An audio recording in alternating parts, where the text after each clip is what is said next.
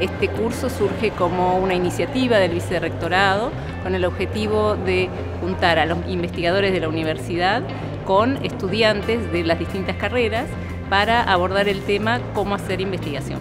El curso en ese sentido lo que hace es convocar a muchos investigadores con perfiles muy distintos para que den una charla breve sobre cómo efectivamente hacen investigación.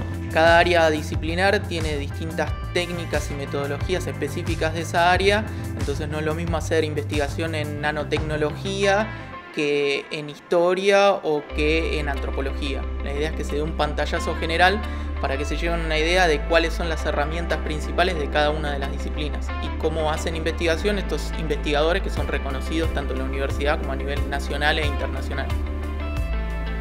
De alguna forma para unar eh, la idea de todas las presentaciones que, van a hacer los profesores es eh, poner un tema como excusa para, para hablar de cómo se hace investigación.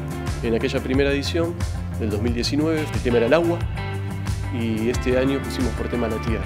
Nosotros le pusimos de título La vida microscópica de la Tierra. Llegó a tener estas colonias, que son estos circulitos que van a diferir. Ponemos la semillita por acá por el medio, la dejamos así en un cuarto de plantas que le da la luz y cubrimos con esto. En esta hipótesis que yo me planteo hay dos variables y entonces también voy a ver las interacciones que se dan entre esas dos variables. ¿sí? El objetivo es eminentemente universitario y estrictamente universitario. Yo diría que es propiciar el gusto por la investigación, propiciar el deseo de investigar. Y es algo que nunca me había puesto a pensar ni, ni creer que tenía la posibilidad de investigar hasta que entrara USAM. Porque ¿qué me pasó? Lo que muchas veces le, va, le pasa a otros investigadores, a otras investigadoras. Llega un momento que ya no, no le podía dar más. Le había dado toda mi alma en el sentido, todas mis ideas. Entonces, lo que hice, que fue una estrategia de cómo se investiga, es vincularme con otros investigadores, con otras investigadoras que anduvieran en temas parecidos, en cosas parecidas, que pudieran usar la base y pensar en cosas en conjunto. Pero entonces empecé a buscar otros objetos de estudio dentro del mismo marco. El avance y la situación en la que estamos en el siglo XXI muestra claramente que las dificultades más grandes por las que nos tropezamos no pueden ser resueltas por una sola disciplina. Son problemas que tienen múltiples aristas, ¿no?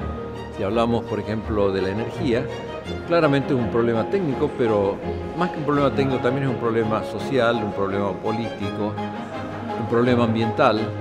La interdisciplina no es poner un biólogo a hacer física es tomar lo mejor del biólogo, lo mejor del físico y que puedan, desarrollando un lenguaje común, hacer una ciencia que haga una sinergia entre las dos competencias.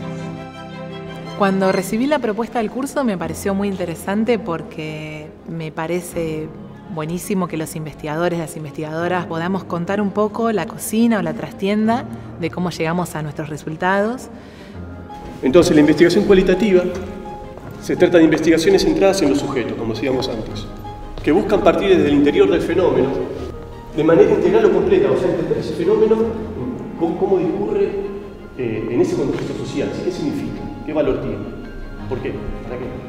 Realmente la diversidad de formaciones, de miradas, de enfoques, cómo los, los alumnos te van enfocando desde distintos lugares en base a los bagajes que tiene cada uno, te va mostrando las distintas aristas y las distintas complejidades que tienen las, cosas que uno hace o que quiere presentar y me parece que es un enfoque muy enriquecedor para todos, no solo para los alumnos, básicamente para nosotros que hacemos investigación también. ¿Cómo surge una película? ¿Por qué tenemos ganas de hacer una película? Sería la primera pregunta. Eso es un poco por curiosidad. Tenemos periodos donde nos especializamos en algo, donde podemos hurgar en mundos desconocidos que si no, no conoceríamos y que pueden ser temas sociales hasta, o temas científicos o lo que fuera, ¿no? En ese sentido es un poco siempre la necesidad de, de velar mundos desconocidos. Primero que nada me inscribí porque me pareció interesante formar parte de un grupo de distintas eh, disciplinas. A mí la verdad me había llamado mucho la atención por dos cosas. Uno, porque la investigación es como una de las salidas más copadas e interesantes que tiene mi carrera eh, y además porque me llamaba bastante la atención de lo que tiene que ver con lo interdisciplinar. Me anoté porque soy curiosa. Hay demasiadas cosas para aprender como para simplemente enfocarse en lo que uno estudia y la UNSAM nos da esta posibilidad de conocer un montón de gente de muchas carreras. Decidí cursarlo para encarar con más nutrientes eh, la tesis y ver cómo encaran en distintas disciplinas eh, la cuestión de la investigación. Son cosas que voy a poder, extrapolándolas un poco más, un poco menos, aplicar el día de mañana, en, ya sea mi proyecto final, que es un poco también lo que busco, y también en la vida para poder desarrollarme como profesional. La idea es que nosotros vamos a dar los datos de diferentes países del mundo y la idea es que ustedes traten de inferir qué va a pasar hasta fin del siglo presente con la población en diferentes países y en el mundo. No, Alemania decrece incluso, de parte que decrece. Cambio India, crece. Y eso ponerlo en porcentaje. No, pero no puede dar negativo. No, creo que es, no es este menos este. Está bueno esto de ver eh, desde distintas perspectivas y ejes un mismo objeto de estudio. Me resultó muy interesante ver eh, temas que no tienen nada que ver con mi carrera por ahí, eh, pero que sí en algún punto se unifican. Está bueno hablar para mucha gente. Cuando uno habla para los que hablan el mismo idioma, una situación de, de- de confort que no es la que a mí me gusta. Prefiero el desafío y poder interactuar con mucha gente. Y la verdad es que es increíble cómo cada disciplina encara de algún modo distinto la investigación y al mismo tiempo hay un punto en común que, que coinciden. El método hipotético deductivo presupone que uno sabe lo que es una inducción, presupone lo que, que uno sabe lo que es una deducción y obviamente lo que es una hipótesis.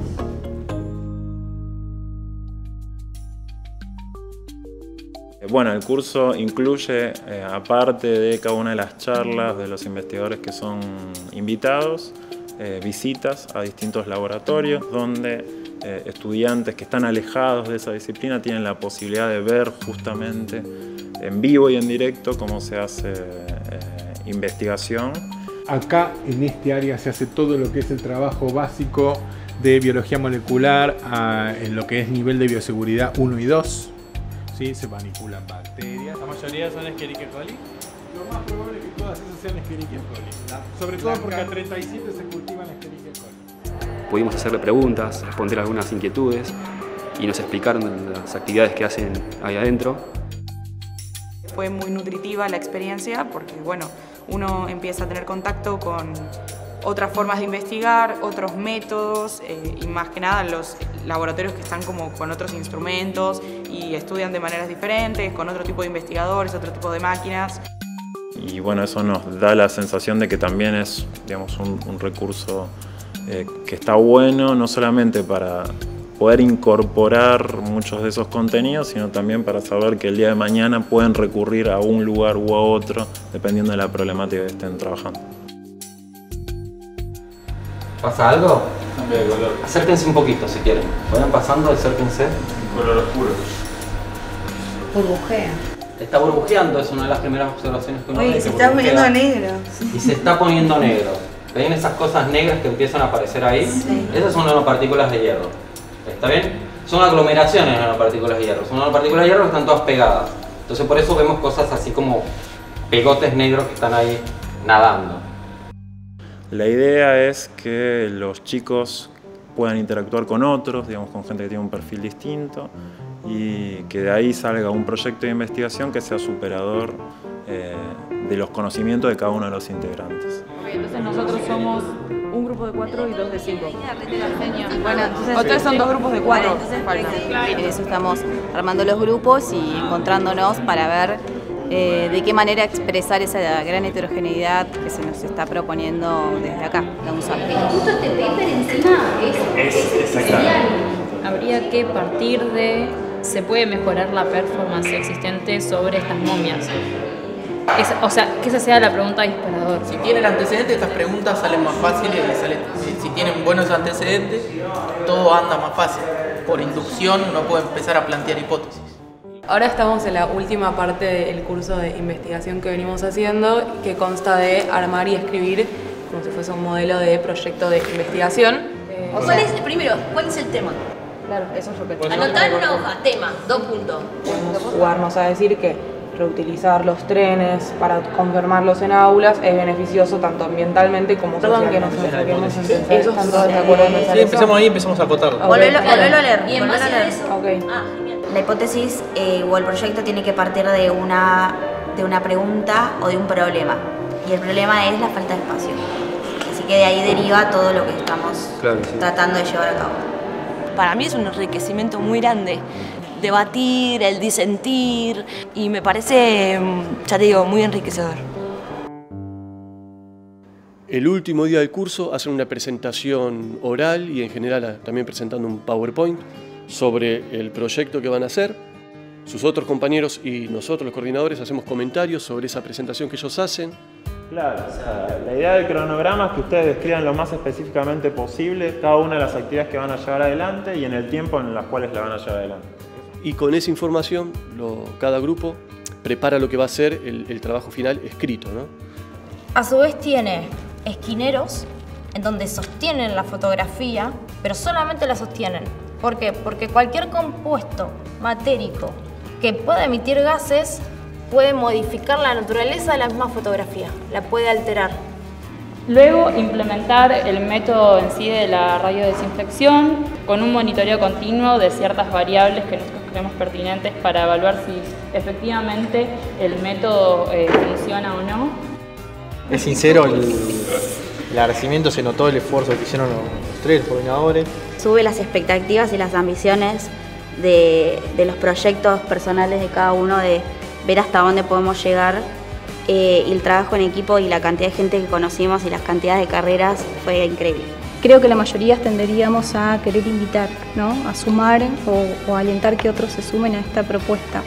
Este curso a mí en particular me encanta, es la segunda edición que tenemos. Me gusta mucho que, que fomenten los alumnos jóvenes esta idea de después querer seguir haciendo investigación. Feliz de todas las preguntas que me han hecho. Eso es porque, bueno, algún interés hay. Y bueno, aparte la tierra apasiona porque, bueno, es tan variada y tiene tantas cosas y es nuestro hogar, del cual nos servimos y al cual debemos también servir.